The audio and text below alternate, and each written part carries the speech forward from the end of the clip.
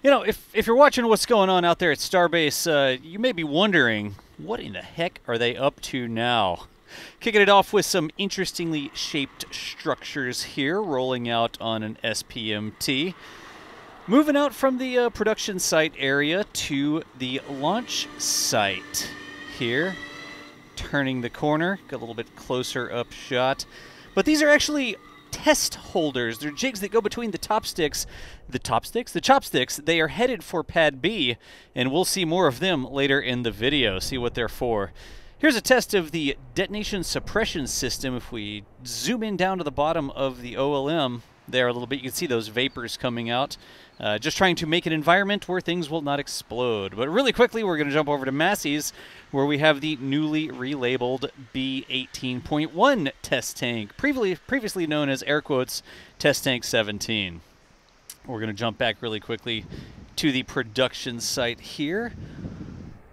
Trying to see which angle this is coming from. Is this is this Jack going out to get a shot?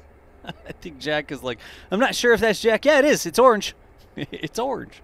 So it's going to be Jack um, walking around there. And Ceaser got the shot back from near the road or truck, it looks like. Over this way, you can see booster 14 on pad A. It's on the left-hand side of your shot there. Looking right into the sun in an artistic uh, sort of capture here. Nice outline of the grid fins. Oh, nice close-up of the grid fins, actually, here. Now, Booster 14 doing some very confusing things. Uh, might not be represented in this video, but as of right now, it was off the launch stand and rolling back. So we'll see what's going on with that. But here at this point in the day, a couple days back, it was successfully lifted up onto Pad A's launch mount. Successfully. Hopefully there's no uh, considerations around what successfully means specifically there, but it was taken back off again. Gonna see some work happening around. Here's the quick disconnect area of the booster. A couple folks just working around. Couldn't quite see the plate itself.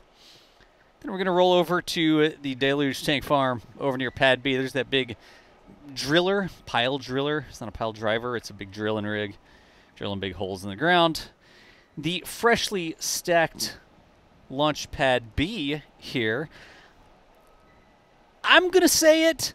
Launchpad A looks cooler with the circle and the pillars and sort of like it matches the booster. Launchpad B looks like something they built for SLS.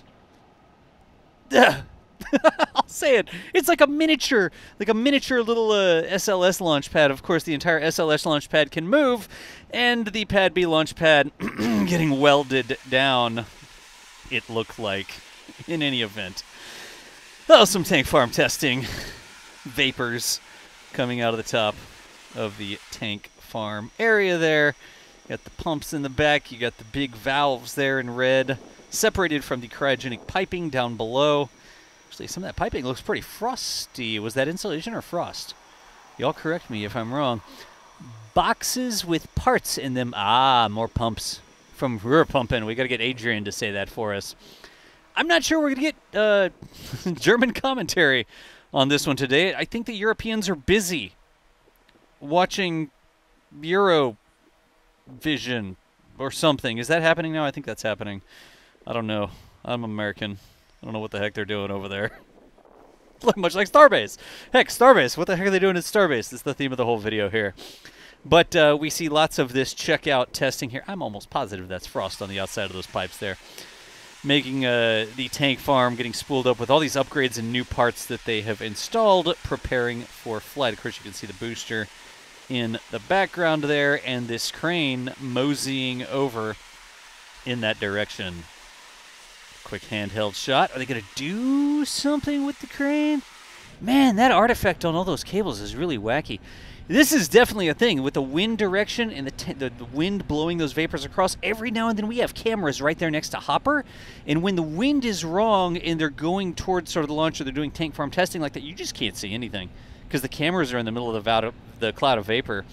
And there you could actually see the sheriff blocking the road as well so people aren't driving through that vapor cloud.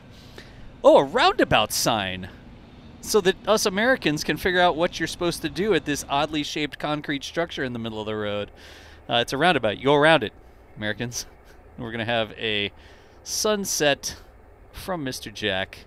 Oh, the cranes in the background. No way. oh, God, I wish I could stop the video. Rewind. You think SpaceX has cranes? That place over there has cranes. You think SpaceX does stuff fast? That LNG facility does stuff fast. That place is ridiculous. In any event. Orbital Pad B. Here we go. Back to Orbital Pad B. Lots of work happening around here. Is this... Okay, so are we going to see sparks here? Is this actual welding operations? Yes! Yes, you see how there's no sparks falling from that and you just get the really, really bright lights?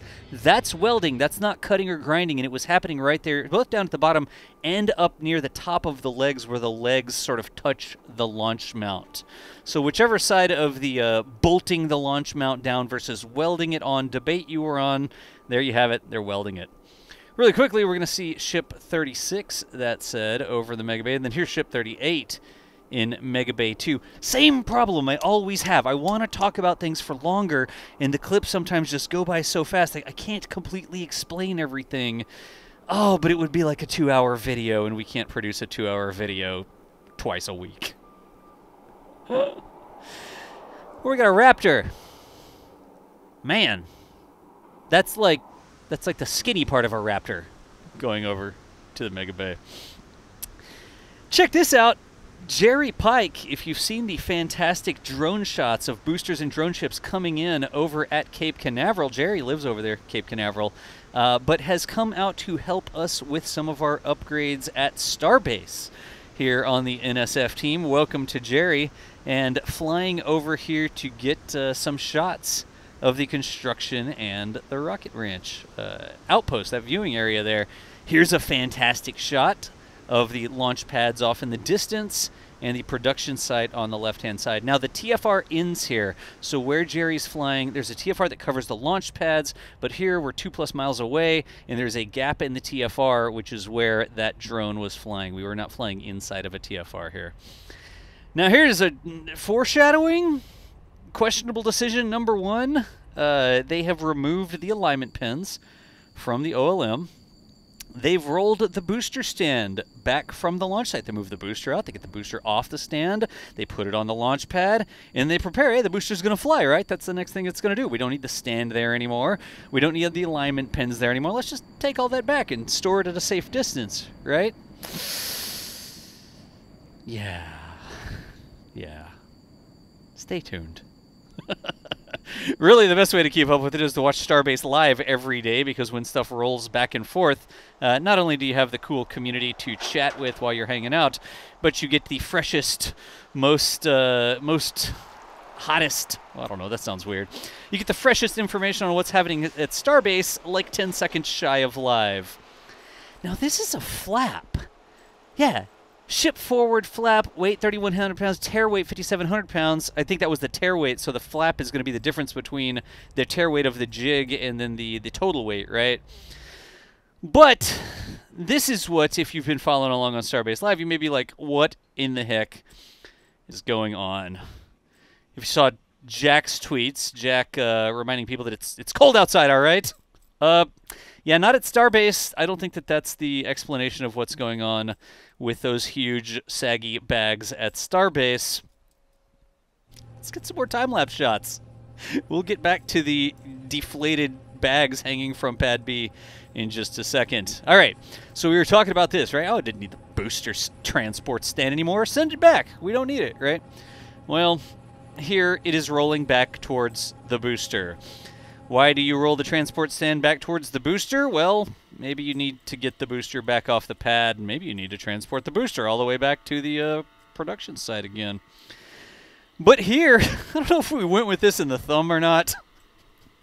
What you see on the Pad B chopsticks are huge. They're not mass simulators. It's actual mass. They're not simulating mass. They're load simulators. I guess it's technically a load as well. Uh, they are massive bags that they fill with water.